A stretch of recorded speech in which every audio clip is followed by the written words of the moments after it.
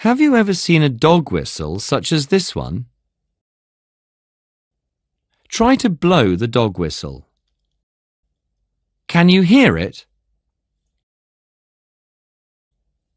Now, use a microphone connected to a CRO to check whether the dog whistle produces a sound. Blow the dog whistle near the microphone.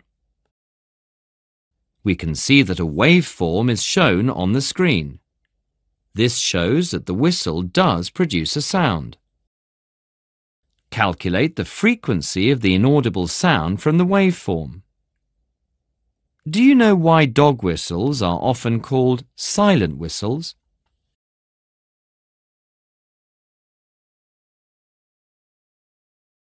Two point two, ultrasound for medical imaging. Let's begin. Lifelong opponents.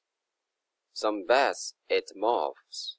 Those bats emit ultrasound and locate the moths, while some moths can identify the ultrasound and avoid bats. This is the sonar system of bats, which make use of ultrasound. There are a few men, blind men, who can see it with sound. Google Sonar Man or find YouTube videos about them. Ultrasound has short wavelength. It is more directional than audible sound, and it can penetrate body structures as a non-invasive means to look inside a human body.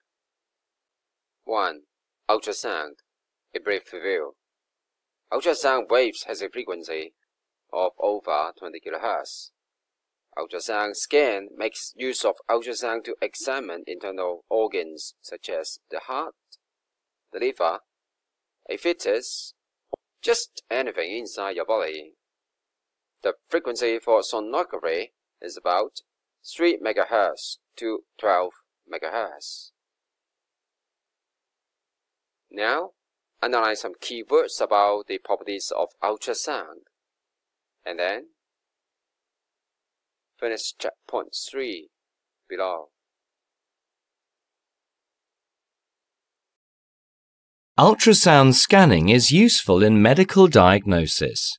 It is safe and does not cause pain to patient. This is an ultrasound scanning machine. It is equipped with a built-in computer to process the signal and display the ultrasound image on the screen. Transducers in various sizes and shapes are corresponding to emit ultrasound of different frequencies, which suit the needs for examining different parts of the human body. A layer of water-based gel is applied on the patient's skin or the transducer to eliminate any air between them. This allows more ultrasound to pass through the skin. Let us see some ultrasound images of different parts of the body. This is the image of hand. This is the image of neck.